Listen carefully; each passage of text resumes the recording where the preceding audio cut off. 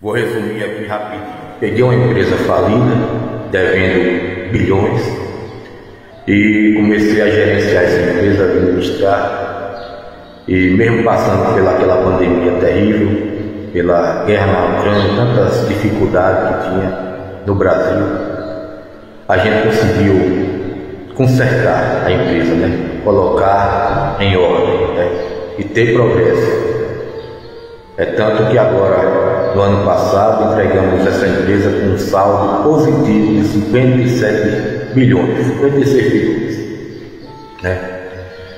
Ah, inclusive, para não ter demissão durante a, a pandemia, a empresa ajudou as outras empresas a pagar metade do salário dos funcionários para que eles não fossem demitidos. Né? Fez o melhor que foi possível. E foi entregue a empresa com 57 bilhões de saldo, uma empresa que estava quebrada, estava falida, estava fodida, estava lascada, estava com vários crimes aí de, de, corrupção, vários crimes, vários crimes, enormes crimes aí, vários débitos aí, entendeu? Bilionários.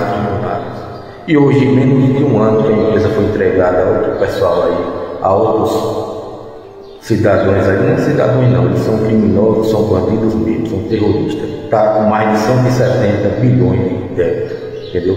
O saldo hoje é de mais de 170 bilhões de débito, saldo negativo. Então, veja quem é a culpa, entendeu? Entenda isso, Brasil, entenda isso, povo brasileiro.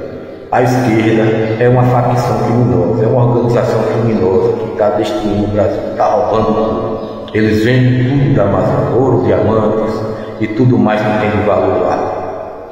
O petróleo do Brasil, o solo, o subsolo, tudo que tem de mais rico no Brasil, de mais valioso, eles vendem, entendeu? E acabam com a educação, acabam com a segurança, acabam com a saúde, entendeu? Desviam, roubam o dinheiro da saúde, as verbas da educação, da merenda escolar, entendeu? Brasil, a gente tem que se unir e colocar esses bandidos corruptos na prisão, acabar com esse sistema maligno, pena de morte para a corrupção.